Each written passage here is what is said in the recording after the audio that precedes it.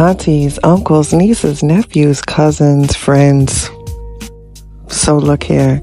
You know what I noticed, y'all? That even during a holiday, which was supposed to be a time for joy and merry and festivities and being with our families and just not engaging in certain activities over the weekend and even on the holiday, we see that certain parties and certain pages were still at it.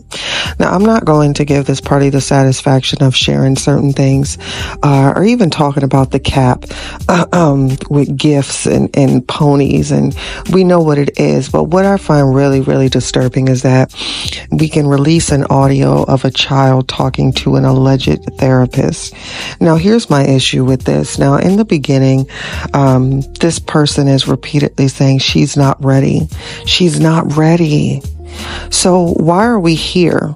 Because if she's not ready, there has been, there should have been no reason for the past months, weeks for herself or pages to post that he's not getting his child. He's not seeing his child. I asked him to get his child. Then why are we here?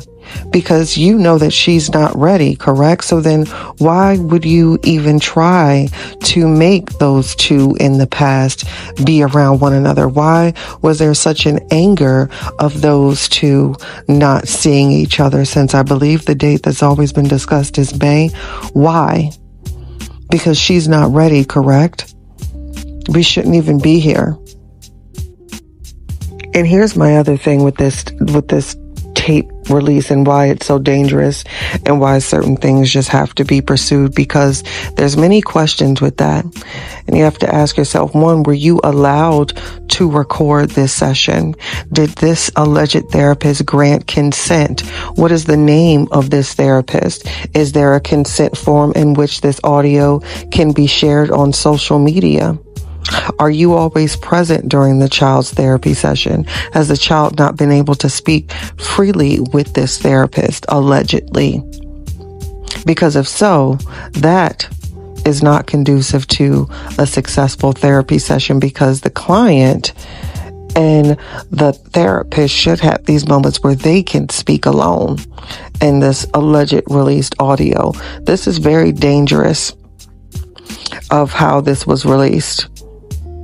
And what could happen is, let's just say if someone doesn't pursue it, just a judge alone that's residing over the case, if there's cases, would see this and say, you know what?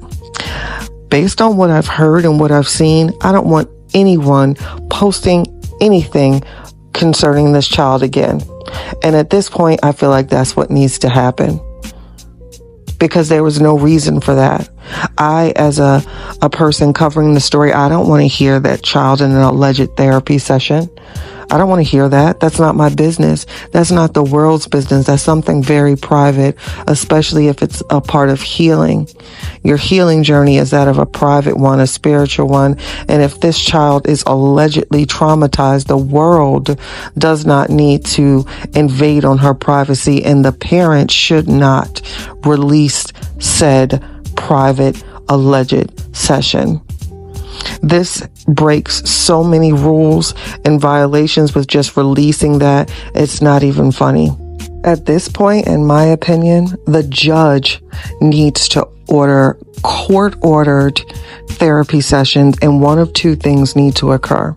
Either it needs to be court ordered that the child and child alone speaks with the therapist or court ordered that both parents are mandated by the court to be present during both court ordered sessions because if not, it's never going to be a success especially if this is what's occurring in these alleged sessions. Now it's been what, maybe two weeks, I think, since I've done a video on this because certain actions, in my opinion, need to be taken. So there's no reason for me to discuss certain matters. I'm not going to change it. My voice isn't going to change it because it's spiraled out of control. You know what I'm saying? So to that, I, I wish parties well because listening to that was extremely concerning. As always, make sure to like, comment, follow, and subscribe.